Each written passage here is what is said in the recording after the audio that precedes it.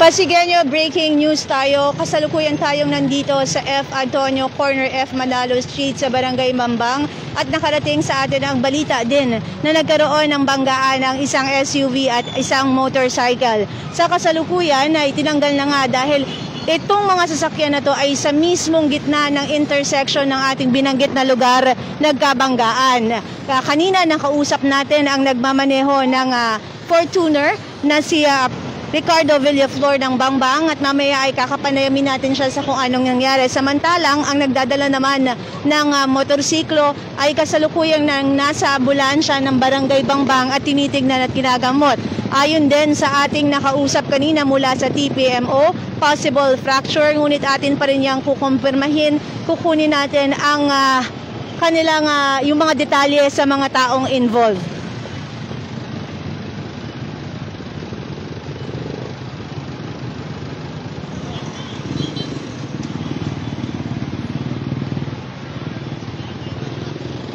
Muli mga Pasigenyo, 8.45 ng umaga nang namangyari itong banggaan ng isang SUV at ng motorsiklo. Tinanggal na po sa gitna ng intersection ng ah, mga involved na vehicles dahil mas nakakaragdag sa trapiko.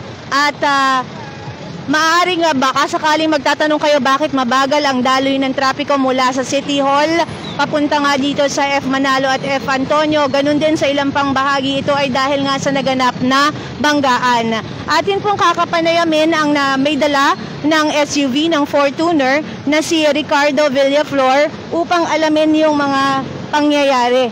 Magandang araw po, Sir Ricardo. Dito na lang po tayo. Magandang araw. Magandang umaga po.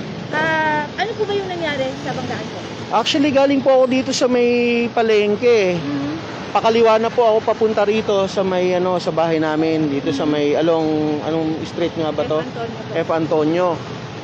Ah, blind corner kasi pasok na po ako sa yellow cor sa yellow box. Biglang-bigla po lumitaw tong motor sa harap ko which is according to him galing siya dito sa gasolinahan.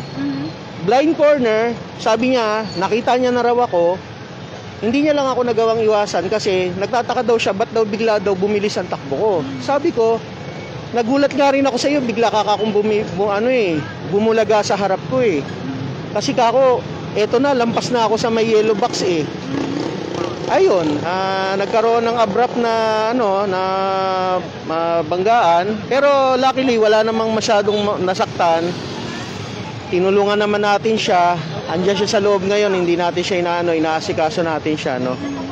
Ah, hindi na, depende na lang kung ano magiging takbo ng investigasyon, no. Pero obviously marami pong witness nakakita na talagang pinilit nung rider mula dito sa gasolinahan na to, pinilit niya talagang ilusot yung kotse, yung motor niya doon sa kotse ko. Kayo po ba, sir, ay may kasama sa sasakyan? Wala po, Siya po ay may angkas? wala rin po. Opo, pero ang inyo napag-alaman siya po isang, ride, isang ah, delivery rider po ba? O Hindi pa po. Basta kanina, nung nandun na siya sa lapag, meron siyang tinatawagan na ma'am. Sabi niya na disgrasya ang araw siya. Ganon. Yun Kayo lang. po ay okay naman, wala namang Ah, wala naman po. Okay lang. Relax lang po ako. Wala namang other problema. sasakyan po. Yung sasakyan, may may damages, pero syempre unahin natin to. Hindi ko alam kung anong mga... unahin natin yung tao. So far, ang plano po, Sir Ricardo, depende sa takbo ng investigasyon? Hindi ko pa po alam eh, kasi hindi ko pa nga ho alam kung ano mangyayari. Pagkagaling dito ng ambulansya, hindi ko alam kung saan siya dadalhin at kung ano na rin mangyayari sa magiging takbo ng investigasyon sa amin dalawa. Okay, mar- meron pa po kayong gustong idagdag? Sana lang, ano, sana lang sa susunod, yung mga kasamahan nating rider, huwag tayong basta pasok ng pasok lalo't nakakita tayo ng intersection, nasa yellow box. Dapat alamin natin yung mga traffic signs and regulations, sabing ganon. Kasi ang hirap nung komot single ka, pasok ka ng pasok.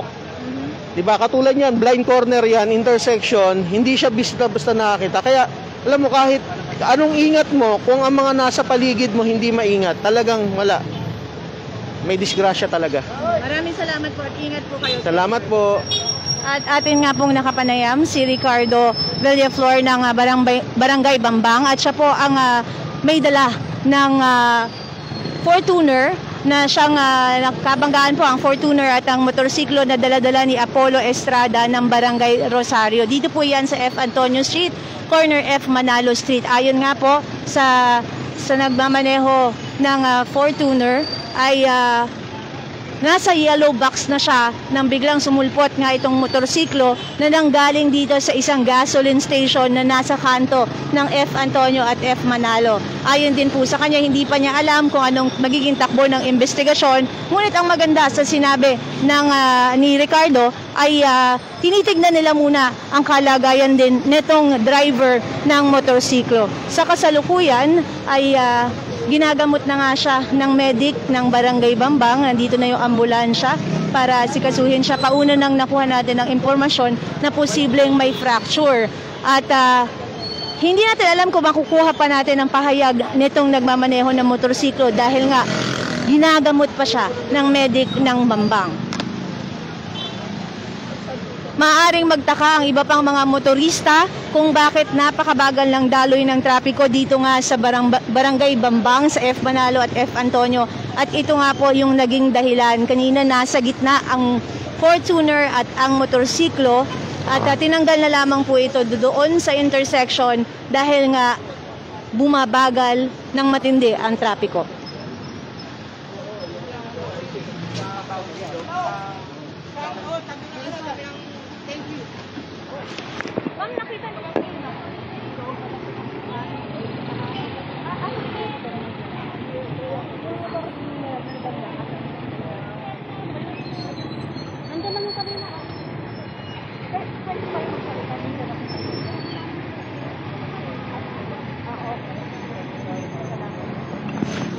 Sa kasalukuyan po, ay live nating inihahatid ang ah, balita kaya't ang ating mga impormasyon din na kinukuha ay ah, at binibigay ay as it comes po. Kung ano po yung binibigay sa atin na impormasyon, ayun po yung ating naibibigay din at naihahatid dito sa ating balita.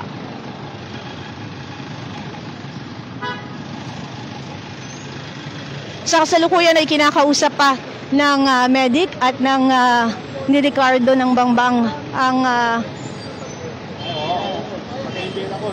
nagmamaneho ng ah, motorsiklo.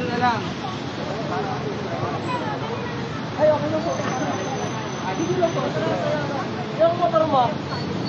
Sino ka motor niya? At ah, kakausapin lang natin yung nagmamaneho ng motorsiklo. Sir, kamusta naman po kayo? Ayos naman. Ayos naman po, ayos naman. Ayos naman po kayo. At ano po yung naging ah, ah, problema sa paa? Okay naman. Yung may paa ko lang sumasakit. May pain po siya sa may left ankle. Hindi naman po fracture or ano po ba? Negative pong fracture. Negative na fracture. Ah, sir, ano pong gusto niyo pong iparating kaugnay dito sa insidente na ganap? Wala naman, konting ingat na lang sa lahat ng rider. Ano po ba yung nangyari po? Hindi na ano, eh. hindi ko kasi, ano eh, paliko na siya, kaya ako, nandito na rin ako. Hmm?